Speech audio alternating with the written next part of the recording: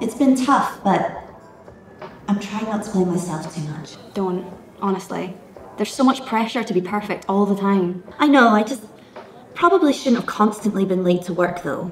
Maybe they wouldn't have fired me. It is weird that they didn't just let you work from home. It did. I just didn't want to because I was having that affair with Brian from accounts. Look, if you felt the need to find affection from someone else, which you did, Yes. and your husband isn't doing enough, Also, I had to get the bus to work, which was always late. and that is not your fault. Right?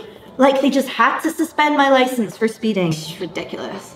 And the only reason I was speeding was because I just kidnapped that Afghan hound, which, you know, I've always wanted one of those dogs. And you needed it for your mental health. It's not like I can afford to buy one. Not in this economy. Especially with how much I'm paying that lawyer to sort out the arson case. And might I add, that building was decrepit. I did them a favour by burning it down. Exactly. Like, should you have waited for all the kids to be out of the nursery first? Probably. But you know what they say? In order to rise from its own ashes, A phoenix first must burn. Probably shouldn't have poisoned all those elderly people, though. that was an accident. No, it wasn't. The fact that you successfully concocted a brew that immediately killed four people is actually pretty impressive. Hello, women in STEM. I do wonder, though, if some of these issues might actually be my fault. Do not talk like that. It, it feels like no one has cut you any slack.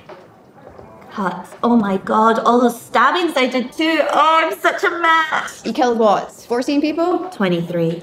Doesn't even make a dent in the overpopulation issue. Time's up, ladies. Already? Afraid so, Angel. Can you just give us a minute to say goodbye?